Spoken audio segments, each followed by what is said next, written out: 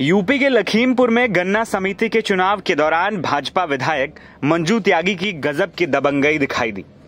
यहाँ गन्ना समिति के चुनाव में तमाम लोगों ने अपना पर्चा दाखिल किया था। अफसर नामांकन पर्चे चेक कर रहे थे, तभी भाजपा विधायक मंजू त्यागी की एंट्री होती है। और मैडम, मेज पर रखे सारे पर्चे लेकर तेज कदमों से निकल जाती हैं। मंजू त्यागी की इस हरकत पर अफसर कुछ भी समझ नहीं पाते हैं कि आखिर हुआ क्या है। शायद ये नया तरीका है चुनाव जीतने का।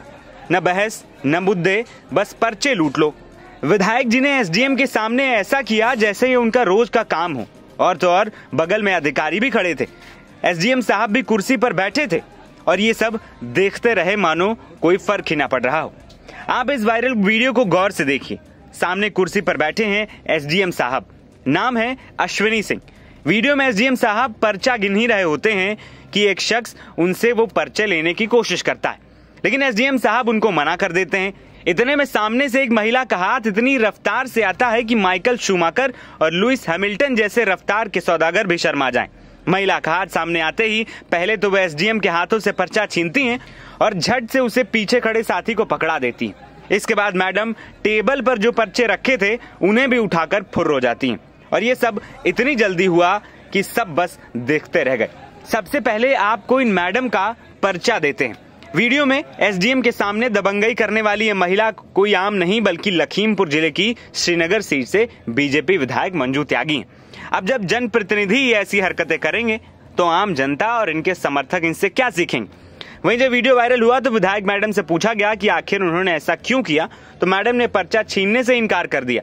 मंजू त्यागी का कहना है कि मुझे गड़बड़ी की सूचना मिली थी तो कक्ष के अंदर गई थी। मैंने कोई पर्चा न छीना, न फाड़ा है।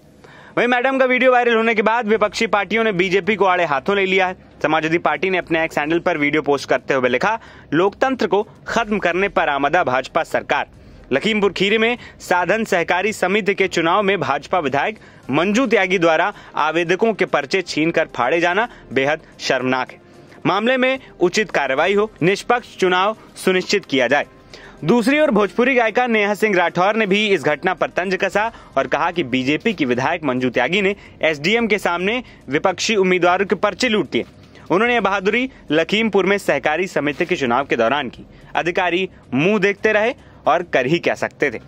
बता दें कि लखीमपुर खीरी ज़िले में गुरुवार को चार सहकारी समितियों पर संचालक पद के लिए नामांकन होना था। सुबह से ही गहमा गहमी का माहौल था। फूलबेहड़ साधन सहकारी समिति में दोपहर के बाद पर्चा खरीदने को लेकर बखेड़ा खड़ा हो गया। फूलबेहड़ में समिति चुनाव के पर्चा खरीदने और नामांकन दाखिल करने के लिए सपा और भाजपा के नेता व समर्थक जमा हुए थे। सपा की ओर से पूर्व विधायक राम सरन विनय तिवारी, पूर्व जिलाध्यक्ष अनुराग पटेल मौजूद थे। आर के आने के बाद नामांकन पर्चा खरीदने की प्रक्रिया शुरू हुई। इस बीच श्रीनगर सीट से बीजेपी विधायक मंजू त्यागी आ गईं। उनके साथ तमाम समर्थक भी थे। ये नामांकन को लेकर दोनों पक्षों में विवाद होने लगा। इसके बाद समिति के अंदर जाने और नामांकन पत्रों के जल्द वितरण करने की मांग कर हंगामा शुरू हो गया। इसी दौरान पुलिस से धक्का मुक्की भी हुई। पुलिस ने सभी कार्यकर्ताओं और लोगों को परिसर में 200 मीटर दूर रहने को कहा था। लेकिन विधायक के कारनामे का वीडियो अब सोशल मीडिया पर खूब वायरल हो रहा है। एनबीटी ऑनलाइन की रिपोर्ट।